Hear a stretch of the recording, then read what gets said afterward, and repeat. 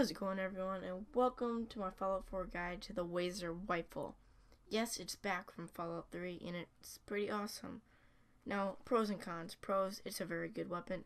Cons, it's an endgame weapon, which means you need to complete the story in order to obtain it. It's sort of a lengthy progress, but it's all worth it in the end. Now, steps on how you're obtaining it. Obviously, you must complete the main story. After doing that, you must proceed to talking with Shaun. After talking with Shaun, he will ask you for parts, and you better go out and get those parts unless you don't want this weapon. And so after you've given him the parts, wait about 24 in-game hours, and then talk to him again. And then you'll want to give him the parts, you'll receive the gift or whatever he gave you, wait 24 more in-game hours, and he will do that. Eventually, over time, he'll give you the Wazer rifle, Trust me, it's worth it in the end. Now, some of the stats on it.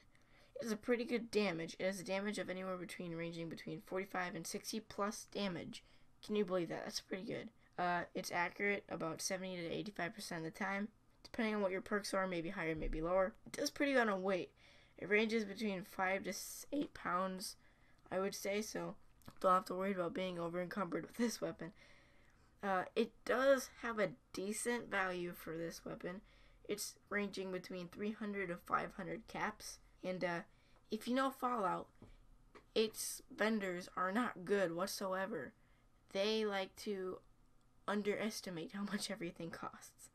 But uh, the only mods it includes is the overcharge capacitor, which aka gives you the unlimited ammo capacity, which I will talk about here in a second. So the unlimited ammo capacity does not mean unlimited ammo. Do not get that mixed up. It just means that you will never have to reload unless you pick up an additional fusion cell from off the ground or wherever. So everything else that's modded on the weapon is normal. So you can feel free to get rid of the overcharge capacitor, which I wouldn't because that's what makes it special. So as you can tell, this weapon is an extremely good weapon.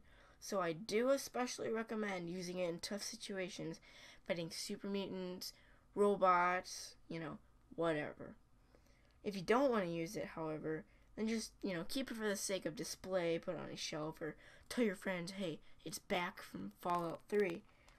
And, uh, you know, just unfortunately, though, this is all I got time for, so if you enjoyed it, make sure to drop a like and subscribe for more Fallout content, and that would be awesome. So I'll see you next time. Bye.